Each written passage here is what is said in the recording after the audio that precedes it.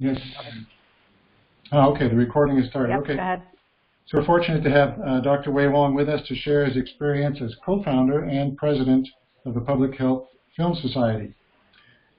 Now, please feel free to ask him questions both during and uh, after the Spotlight presentation. And after the Spotlight, we'll have a brief meeting with Yana Europe members who can stay on the call. But before we get uh, to Wei's talk, our Yana Chair of Chairs, Rachel Littman, will share with us more background on the Yale Alumni Nonprofit Alliance. So over to you, Rachel. Great, thank you. Welcome everyone to the call. Thanks, Thatcher. Just um, wanted to make sure everybody was aware of the history of Yana and where we are now. We launched um, in New York City in 2011. It was incorporated and registered as a um, federal IRS not-for-profit 501c3 about 2014. Uh, with the mission of Yana essentially is to draw together and harness the mission-driven passion of Yale alumni, which is now expand, expanded really to include anyone uh, who shares our mission, and those who are interested or involved in advancing the greater social good.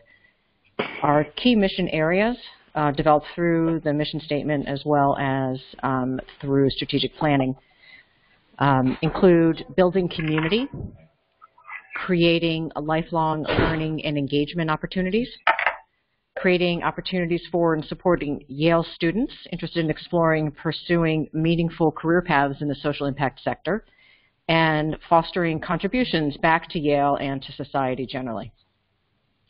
So a quick snapshot of where we are now. Um, if you haven't checked it out, we have a new and constantly updated website, which is yalenonprofitalliance.org. Hope you can check that out. We have a Europe chapter on there as well.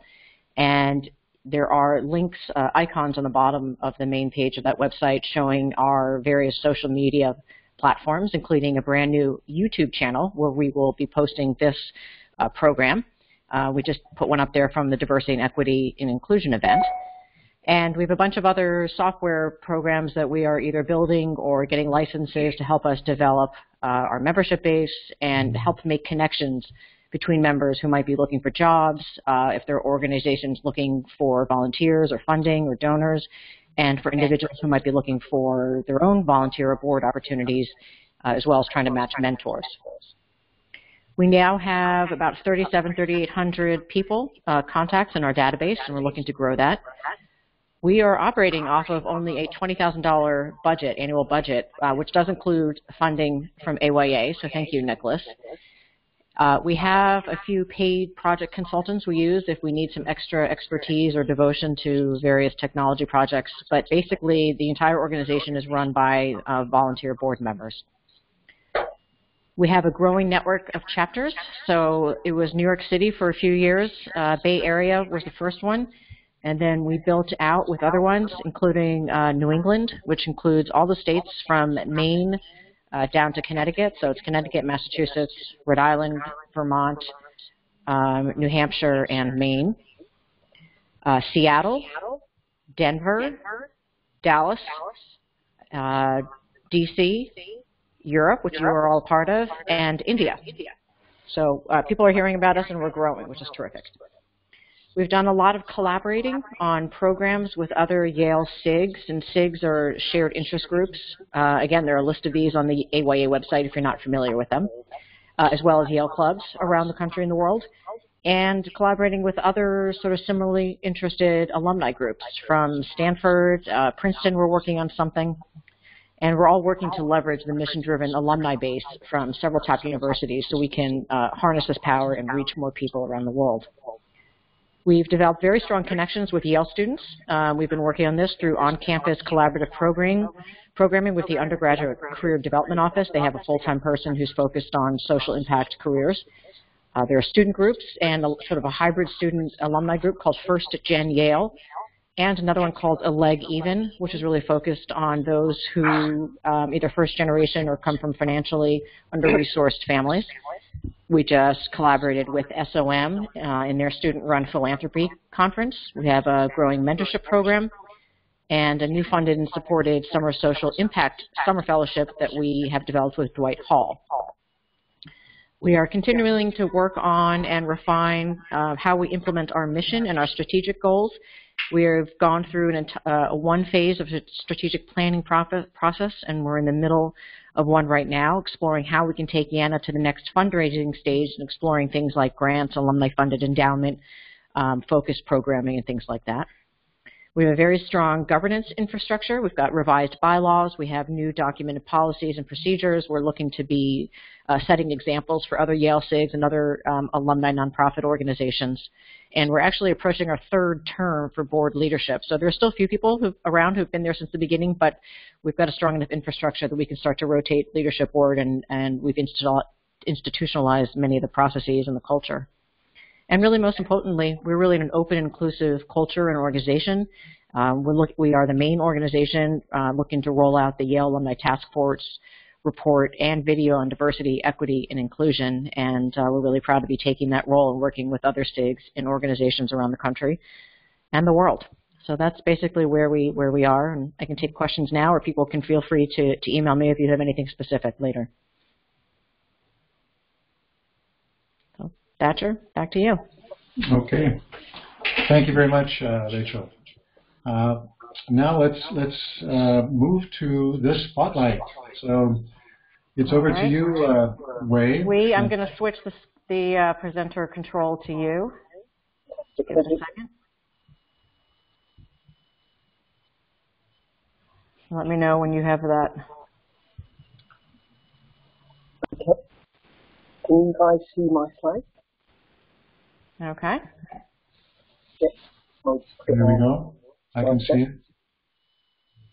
Okay. Put on slideshow. Fantastic. You can see the slides.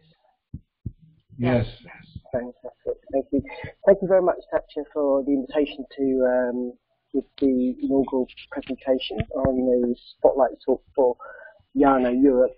Um, as uh, Thatcher mentioned, my name's Will. I'm president of the Public Health Film Society, a UK registered charity. Um, excuse my croaky voice, I'm just recovering from a cold. Um, if I'd known that this would be one of the first videos on your YouTube channel, I would have put on some makeup or something. uh, had a better background. But uh, thank you very much for inviting me. Um, I'm really, really honoured to, to be giving this talk and uh, really keen to get your feedback um, and the, the, feedback of the audience on, uh, you know, the ideas really presented here um, and how we may progress. Um, so I graduated from Yale uh, in 2006 from the School of Public Health, uh, and I'll be talking about public health films and the Public Health Film Society um, all of which are ideas which really originated from uh, and, and, were inspired by my time at Yale uh, and in the US, um, where I joined the uh, Public Health Film Club that was a, a key part of uh, Yale School of Public Health when I was there, uh, and also attended the Global Health Film Festival, which was in the early throes really uh, an initiative that was um, started by the American um, Public Health Association, which is the sort of national professional body there.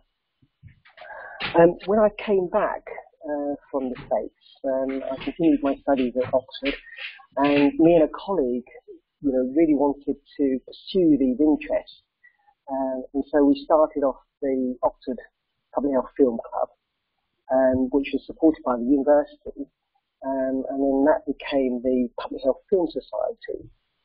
Um, and so the Public Health Film Society, um, who we are, we're a, a, group of um, public health practitioners, students, academics, um, who really are trying to spread the message of public health using the media film, but also trying to advance the field itself of health-related films.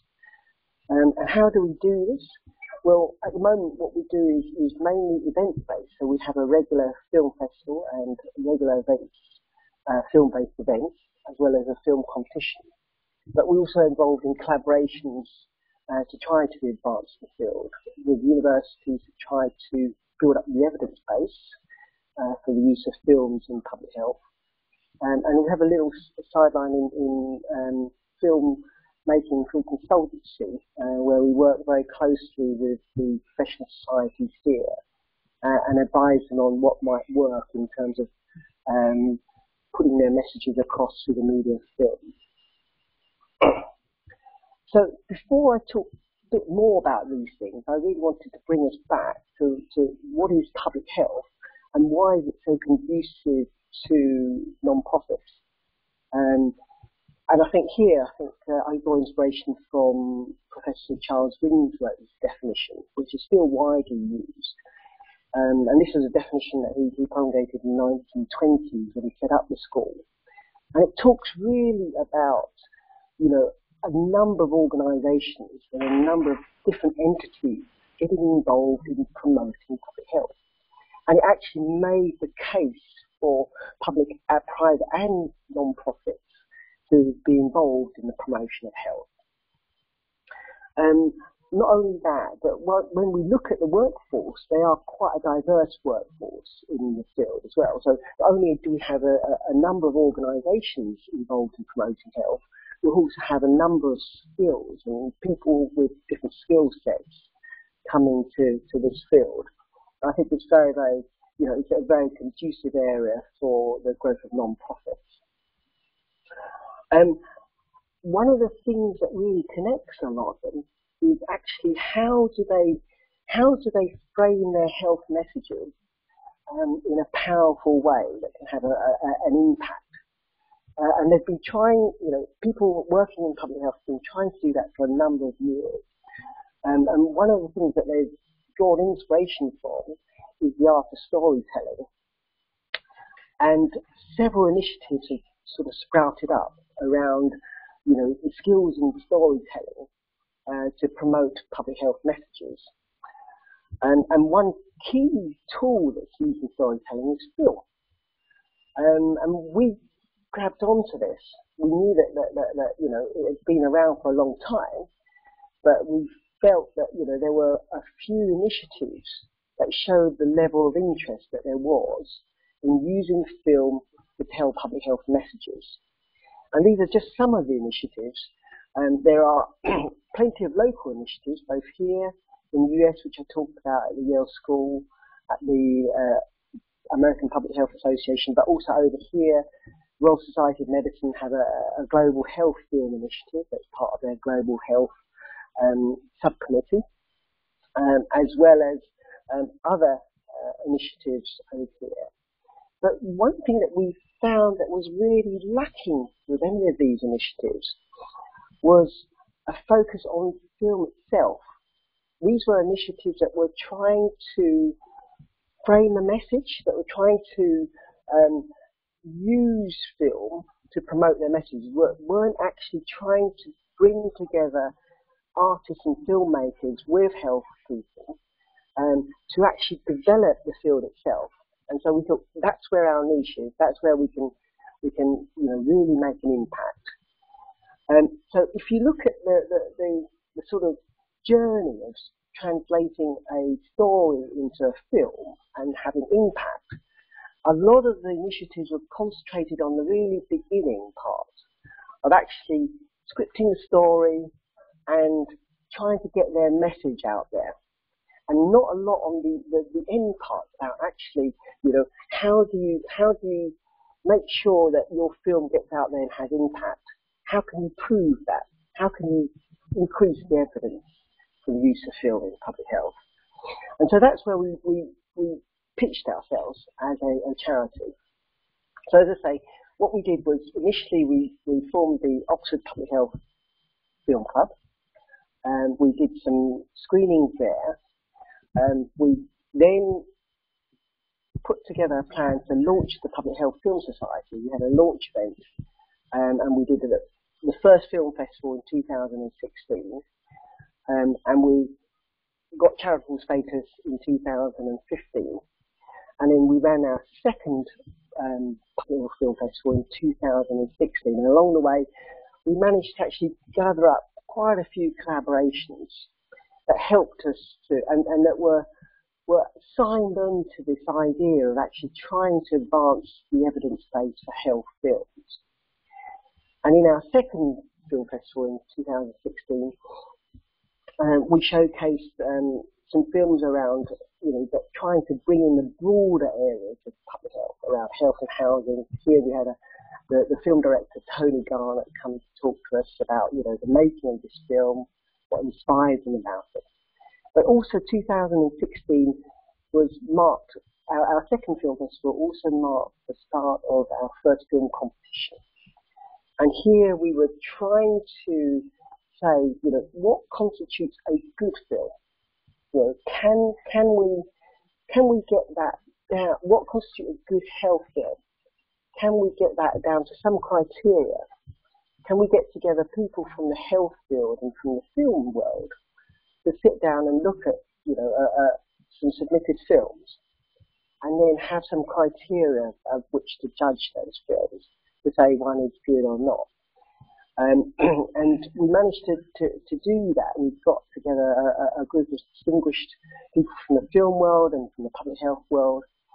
And we got a short list and then a, a, a winning film. This is a film called Up for Air by a New York filmmaker, um, all about the, the benefits of exercise for those with chronic illness. It's actually a great film if anybody wants to watch it. And the guy followed this uh, the protagonist for five years and actually, you know, told a really, really good story um, about, you know, the benefits of exercise, um, which is something we all very well know, but actually, you know, the, the, the story is around the benefits of exercise for those who have existing chronic disease, which we thought was a really novel sort of take on a really com- a key public health message.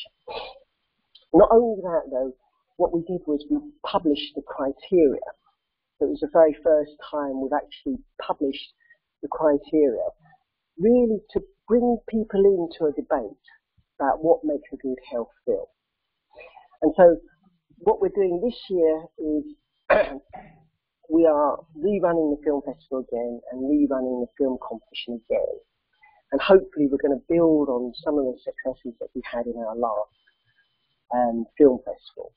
But I want to talk a little bit more about some of the sort of longer term challenges for us as, as, as a charity in this space. And we are, having, having looked at the charitable list in the UK, there are lots and lots of film societies, and many of them are geographically based. And I believe that we are one of the first that are issue based, so it's not geographical based. And so, you know, we're trying to blaze a trail here. Um, but we have been we have been predicated on a model of event-based um, development. So you know we get our funding in bursts um, as the you know festivals and events come off. And so one of the challenges for us going forward is actually how do we how do we have a sustainable model of development as a charity? I mean, can we go project? Could we have a project-based sort of model of development? And little time in with the second part is about, you know, what do we think, you know, how do we think we can develop the field? Um, and you know, can we can we develop a concept here about about where film fits into the public health toolkit as such, where it fits into the work processes of the public health practitioner at the front line. And, and that will then help us to then, I, I believe, that would help us to you know, mould our business model to a concept of how we think film fits into the work life um, of a public health practitioner. Um, and so I think that that talks to the second part, which is about you know, you know how do we continue to influence the field not just through our events and through our competitions, um, but through other things that we can do.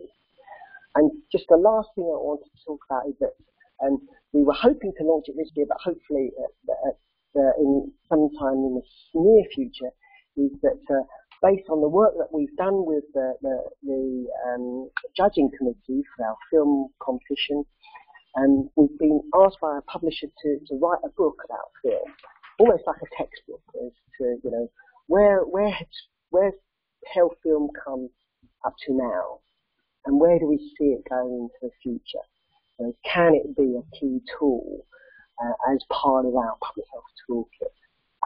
So last thing I wanted to, to mention is, is, is that um, we are currently organising our public health film festival for this year. Uh, it was originally going to be in Liverpool. Um, it's actually now going to be in Oxford in 6th to the 8th of December. We will we will publish details very very shortly. I'm just due to get the confirmation from the universities that uh, it's going to go ahead. But as soon as we uh, have that information, I will um, pass it around the network. Everybody's welcome. Films are completely free. Uh, and we would really, really welcome your, your input and discussions for the films. And uh, thank you. And any questions? Happy to answer. So I've just got to blow nose. Wei, first, while we're waiting for a couple questions, um, I wanted to thank you, especially under the circumstances, for for uh, sharing the spotlight with us. I can't imagine a, a better way to get started with our YANA Europe spotlight. So thank you very much. Excellent, uh, excellent um, review of your of your work, and I hope we can connect people to to help you. So yeah, please uh, questions uh, from anyone. Feedback to to Wei, feedback to us, questions on the on his his work at the Public Health Film Festival and and uh, Society.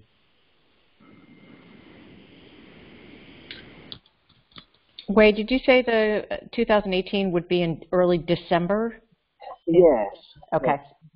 Um, the 2016 was sort of late November. Our main competitor is the American Public Health Film Association Film Festival, and their one is in, in early November. Um, there are, as I say, very few you know, sort of festivals within this space, and we, we, we like to try to avoid each other to give the filmmakers an opportunity to present their films on, on, on both sides of the shore. Right. Can we just chime in with a question, Rachel? Yeah, I think so.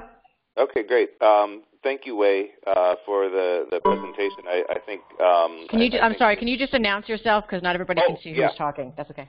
Um, so this is Mick Hirsch. Um, I live in outside of Boston, Massachusetts. Uh, graduated from the Yale Divinity School in 2003.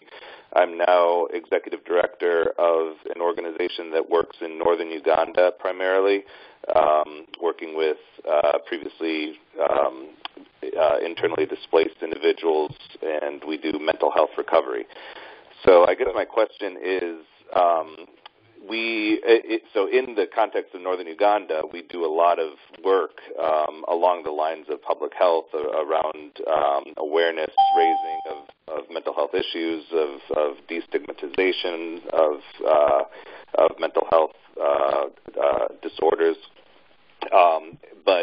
We, of course, are on a very small scale, so we're not uh, we're, we're not able to produce anything like uh, you know Hollywood blockbusters.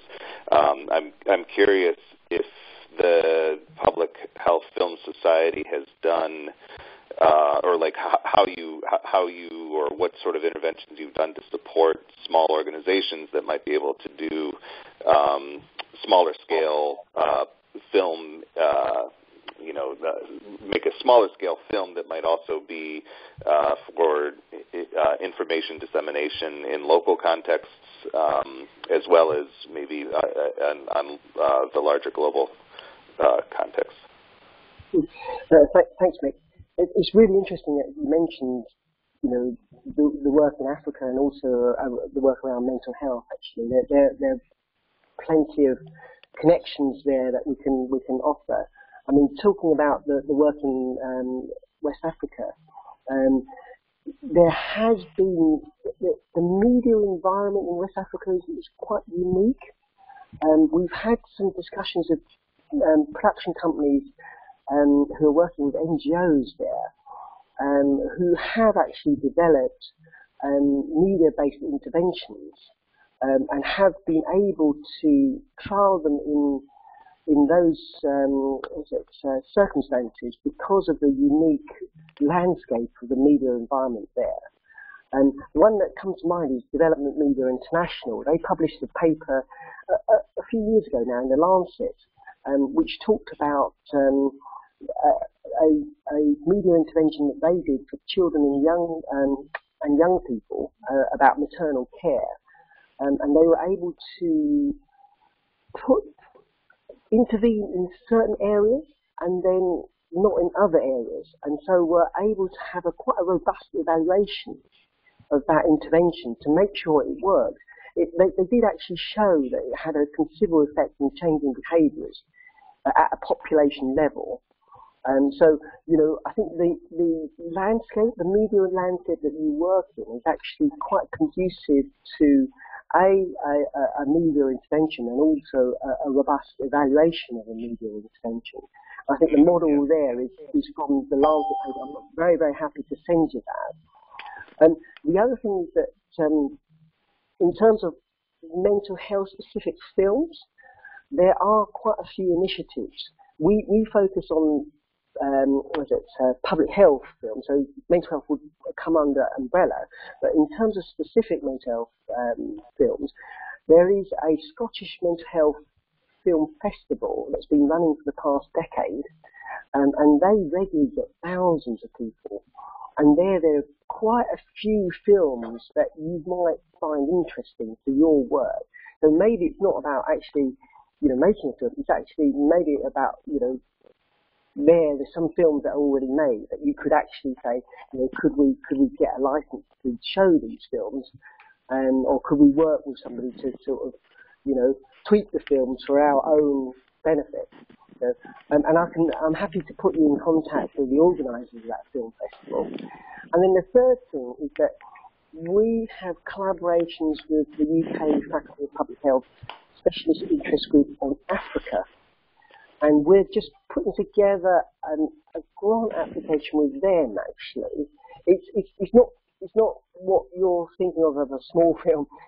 They're thinking of a much bigger project. Um, but it might be an idea there actually as a, as a, as a sort of a template to work on as to how we develop a film in Africa is actually what they've got. They've got contacts in, in Africa, especially in Nigeria and Nollywood, the, the film industry there. Um, and it's leveraging those, leveraging those contacts in the industry, as well as the Ministry of Health, to try and get co-funded.